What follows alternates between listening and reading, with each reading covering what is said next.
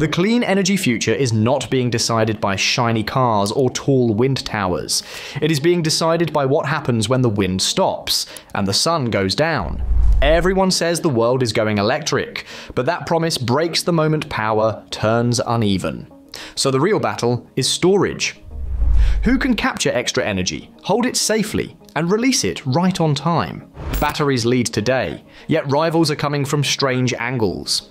Gravity, water, underground systems, and ocean devices all want a piece of the grid. The next decade will show which idea scales fastest. Why storage becomes the real race. Across the world, research labs and power companies are chasing the same missing piece. Wind is not constant. Solar fades every evening and weakens in winter storms. If transport, heating, and industry move toward electricity, the grid must handle long quiet hours without collapse. That turns energy storage into the backbone of the transition. Storage does two jobs at once. It soaks up surplus power when farms are overproducing, and it fills the gap when demand spikes. Without that buffer, renewable capacity has to be overbuilt and still risks outages. Storage is also more than a box of cells. It has to be managed minute by minute. Charging at the wrong time can overload lines. Discharging too early can leave a city short later. So software becomes part of the product algorithms forecast demand, watch prices, and decide when to store and when to release. They also coordinate thousands of units, so they behave like one large plant. This is why storage is a competition that looks like hardware on the outside, but behaves like logistics on the inside. When storage works, renewable power stops being a gamble and starts behaving like a steady service. Tesla's software moat and battery rivals. Battery competition is not a future threat. It already exists. Large suppliers such as LG Chem and CATL sell battery cells and grid storage systems, and many other firms do the same. So the question isn't whether rivals can build packs. The question is what separates one storage provider from another. One argument is that Tesla's edge is the control layer. Better software can earn more money from the same physical capacity by reacting faster to grid signals and by stacking services.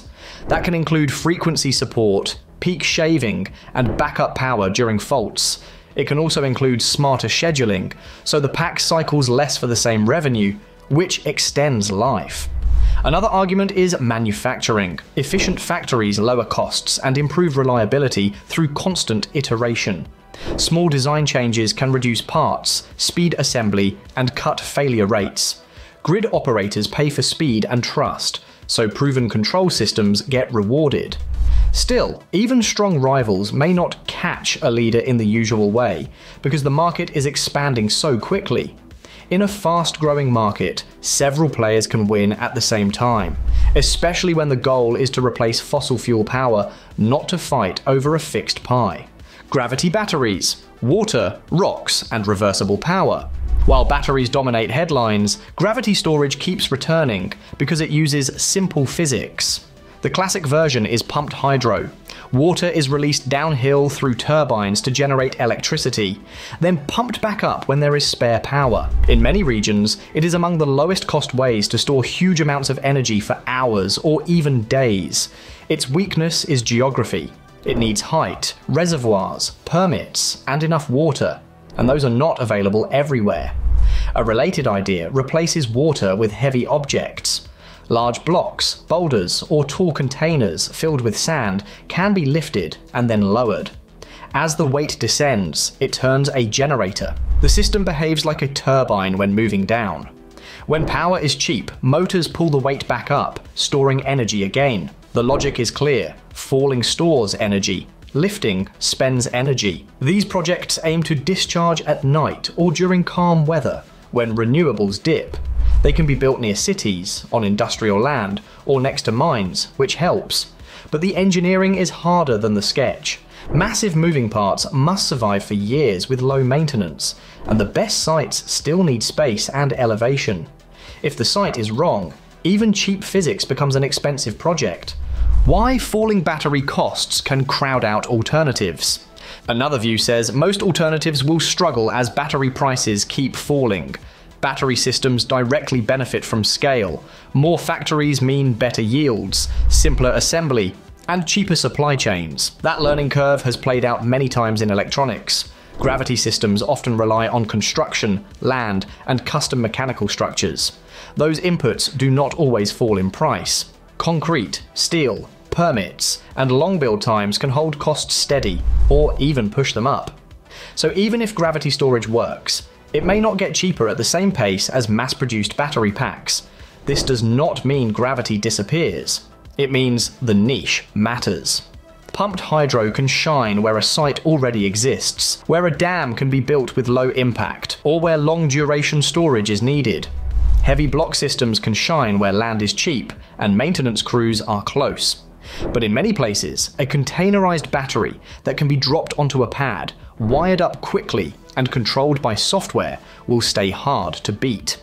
In that sense, the strongest competition is not storage versus storage, but clean storage versus the old fossil system that still runs much of the grid. Megapack pricings, backlogs, and the 300 terawatt hour gap. Near term pricing depends on how big the gap is between supply and demand. One estimate often discussed is that the world may need on the order of 300 terawatt hours of deployed batteries and battery like products over time. Even if production ramps fast, that target is enormous. Imagine an industry producing 10 terawatt hours of storage products per year.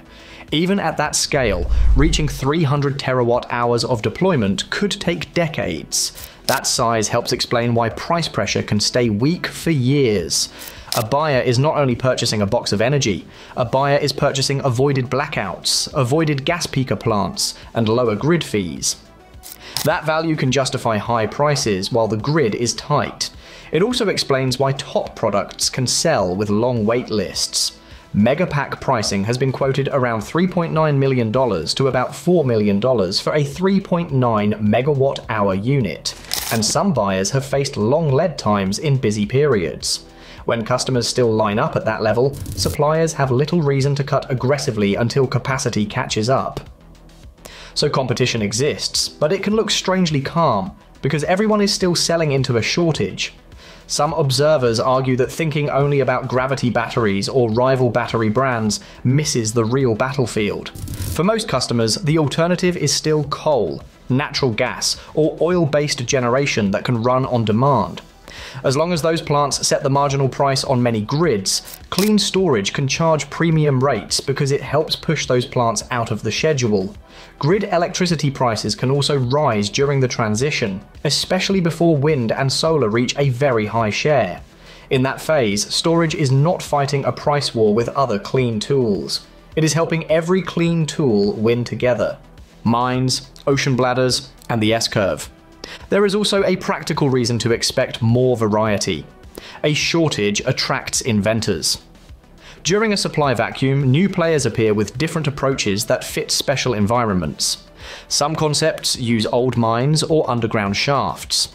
A heavy load can ride up and down in a vertical tunnel, turning a generator on the way down and storing energy on the way up. Some use deep caverns to store compressed air, then release it through turbines when power is needed. Others move into the ocean. One proposal places large flexible bladders on the sea floor near offshore wind farms. When excess power is available, pumps inflate the bladder against water pressure, storing energy as compressed volume. When power is needed, the bladder deflates and drives equipment that returns electricity to the grid.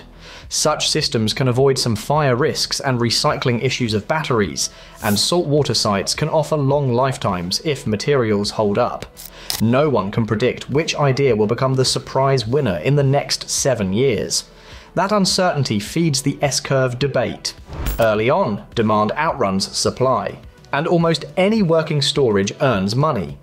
Later, when supply and demand start to meet, the curve flattens and prices are forced down. Some expect that shift around 2028 or 2029, when build-outs finally begin to match the need.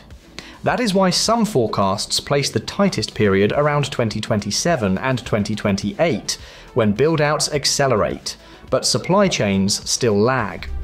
In that window, many storage approaches can look profitable at once. The disagreement is about when the turning point arrives. If new factories, new chemistries, and new non battery systems ramp fast, the flattening could appear by 2028 or 2029. If ramping is slower, the shortage could stretch beyond 2030. Either way, the curve only climbs if enough products exist to fill it, and that pressure invites constant experimentation. Storage is moving from the side story to the main plot. The grid cannot live on sunshine and wind alone, so every plan needs a way to bank power. Batteries will likely dominate because they scale fast and work almost anywhere. Yet gravity systems, mine shafts, and ocean pressure ideas can win where local conditions favour them. Software will matter because it turns stored energy into usable power at the right second.